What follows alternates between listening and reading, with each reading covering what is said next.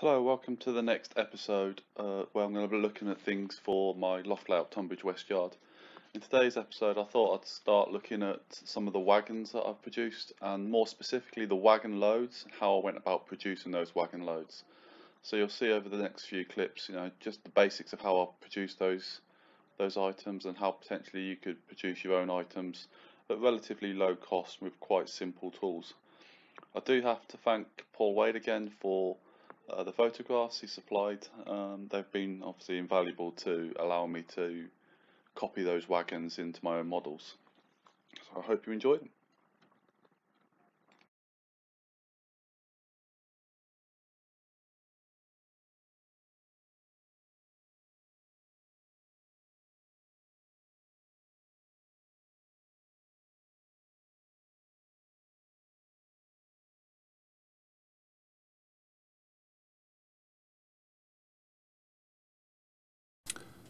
So this small Raker Wagons is made up of all Bachmann and Farish wagons. You've got an OCA, an OBA and an OAA. Um, essentially what the train is um, is carrying new sleepers, concrete sleepers.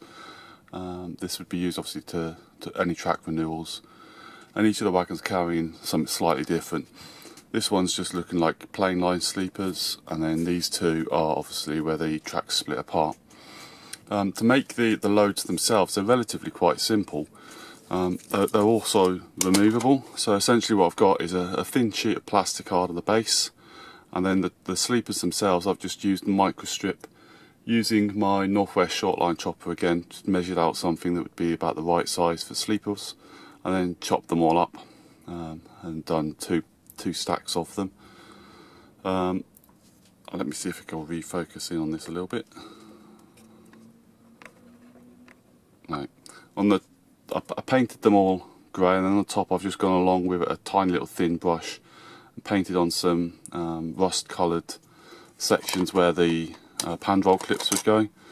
The other two wagons are pretty much the same process. Uh, this one though, or they don't have um, plastic card bases. Essentially what I've done is two and a bit stacks of micro strip um, and then underneath cut a hole out or cut the, the, parts shorter so I could put a, a small piece of um, metal in there, a bit of old wagon weights uh, to give a bit more weight to it and then just stack them.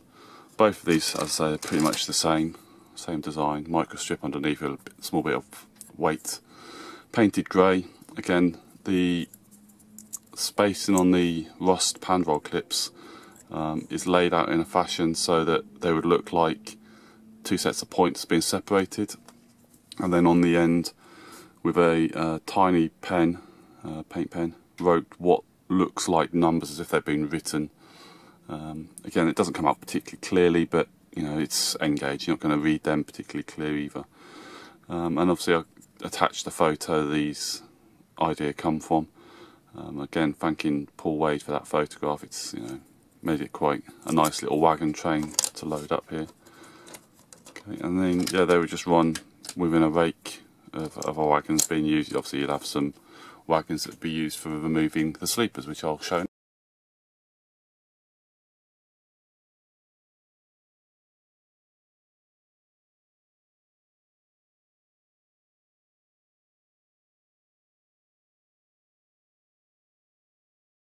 So this Raker wagons, you could either run it mixed in with this was as empties, or these would be empty and these would come back loaded with the removed sleepers.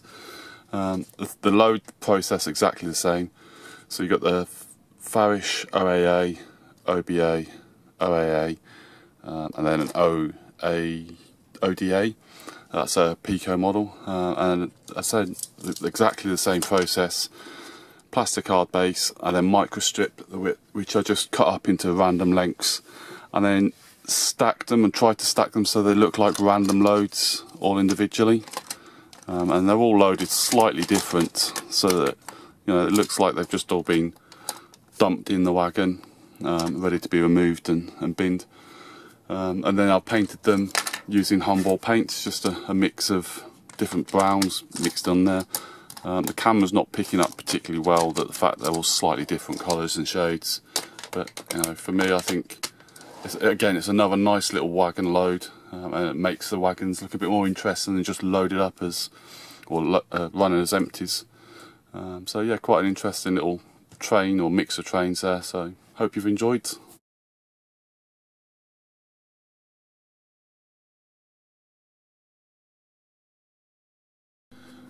Okay, so this wagon's part of a, a Stawell's train. It's a N Gauge Society kit um, and loaded up with a couple of Peco um, plastic wheel sets in there.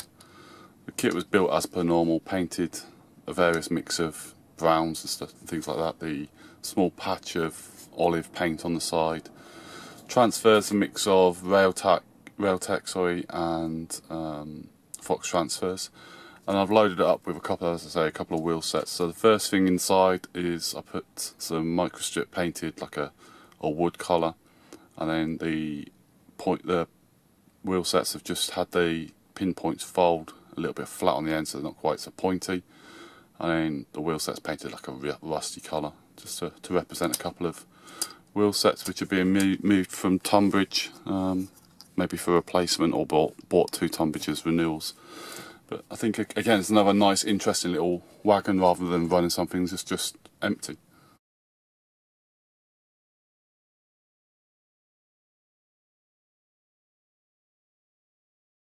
So this is a rake of tote wagons. Um, these were 3D printed by Paul, Ch Paul, Churchill and I've had these for quite a few years now. I got, in, got these off of Paul before I even started to learn 3D printing myself.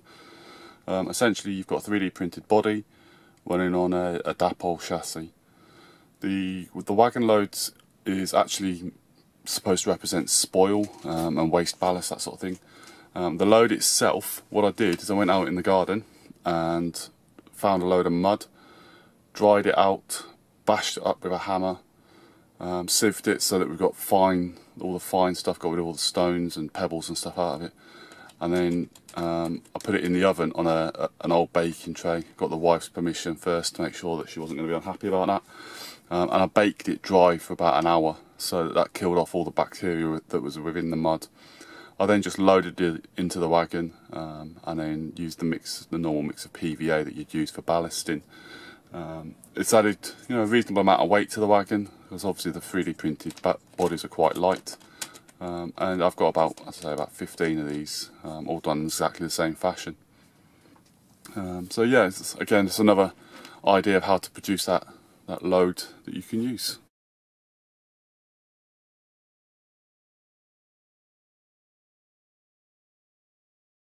So this wagon's a, an OAA loaded with oil drums. Um, this, uh, as you can see from the photo that I'll, I'll show in here, it's actually modelled off of a real, real wagon. And the wagon itself's actually become a bit of a joke within the group of friends that we've got because it seems that everyone's um, made a model of this. Paul, Paul Wade obviously made a model for his Tonbridge West yard originally and then over the last few years everyone's done one so um, we've all got a copy of it. Um, my, my version, uh, again nice and cheap and easy, pit plasticard bottom again and then I've just used round plasticard um, and stacked them all, cut them all up, or cut them all up on the micro um, Northwest Shortline chopper and then just stacked them all up in, in rows of four, zigzagged them um, and then painted them all like a, this dark blue colour and then picked out some of the tops orange and black like the, the wagon itself again it's just another interesting load to go, go within the wagon.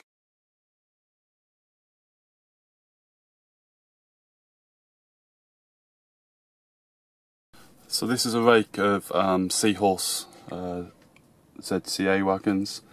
They're a um, 5.7 or Chivers kit, but now they're, they're sold under 579.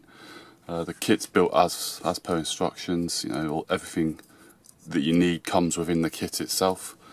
Uh, as I say, followed the instructions, painted up, and transfers come from uh, a mix of Railtec and um, mm, I think Fox did the, uh, the, the other transfers for them. The load itself, these wagons again, the load is removable. Same principle, plasticard base, and then fresh ballast on top, glued on with uh, the usual mix of PVA. And again, I got another rake of about 10 of these these wagons um, look quite quite good when running on the layout.